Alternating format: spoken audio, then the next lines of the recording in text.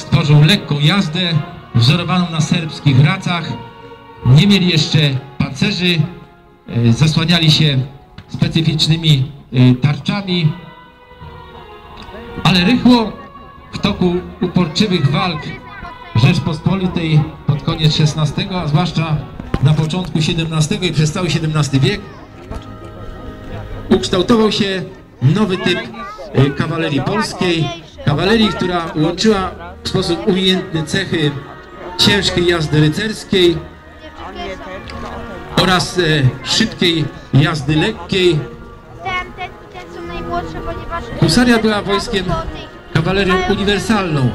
Jej głównym zadaniem było rozbijanie szyków przeciwnika impetycznymi atakami w cwale husarze w dogodnym momencie, zwłaszcza gdy piechoty przeciwnika odpaliły muszkiety, zwłaszcza gdy odpaliły armaty, tak- żołnierze gorączkowo nabijali muszkiety i armaty, wówczas był to stosowny, najstosowniejszy moment do wykonania szarży.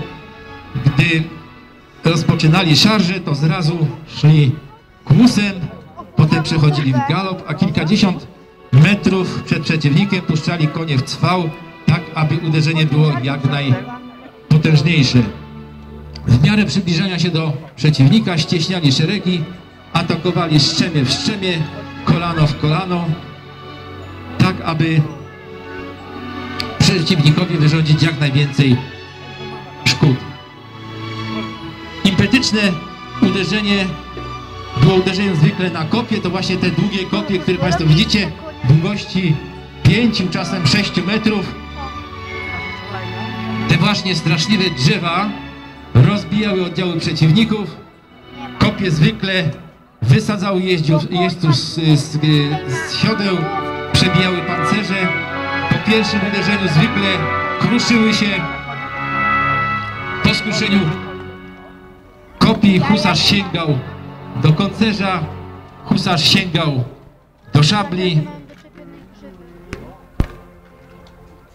zwłaszcza szabla i koncerz były przydatne w pościgu, gdy husaria pędziła konno, jeźdźcy stawali krzepko w strzemionach i cieli z całą siłą ramienia w dół, w karki uciekających albo roztrąconych przeciwników. Gdy zachodziła potrzeba, to husaria zrzucała pancerze i stawała się jazdą średnią lub nawet lekką, zwłaszcza wtedy, gdy przychodziło walczyć z przeciwnikiem lotnym, takim jak jazda tatarska, śmigło jazda turecka, to wówczas oczywiście stosowanie ciężkich kopii, pancerzy nie było konieczne, liczyła się szybkość, dynamika, a że posiadali na wyposażenie również broń palną, zwłaszcza pistolety, byli bronią niezwykle formacją groźną dla każdego przeciwnika.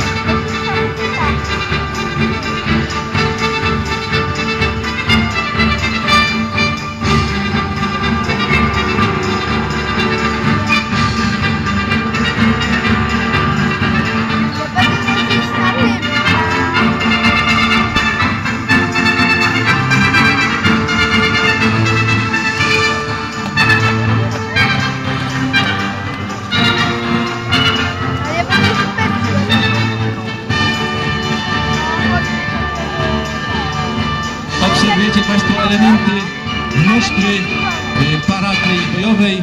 Jeźdźcy wykonują y, polecenia rotmistrza. Początkowo poruszali się, jak Państwo widzieliście, w stępie. Teraz konie są rozgrzane. Można przejść do kłusa.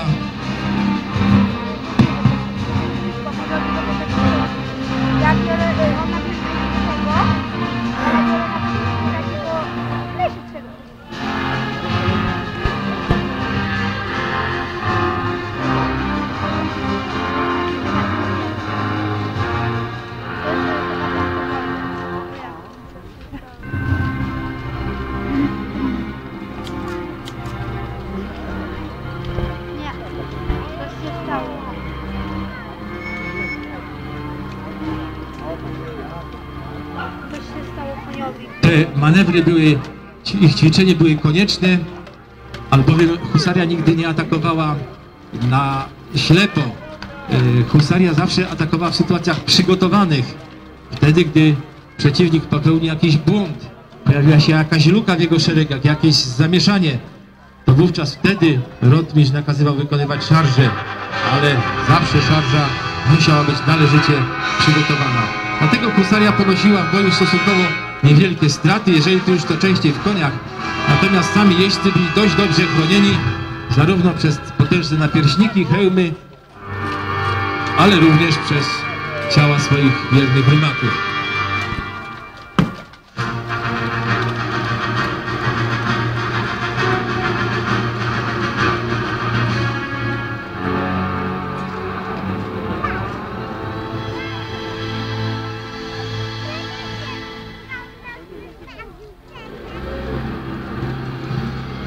Najsłynniejsze bitwy husarii to oczywiście Kirchhorn, to Chocim dwukrotnie,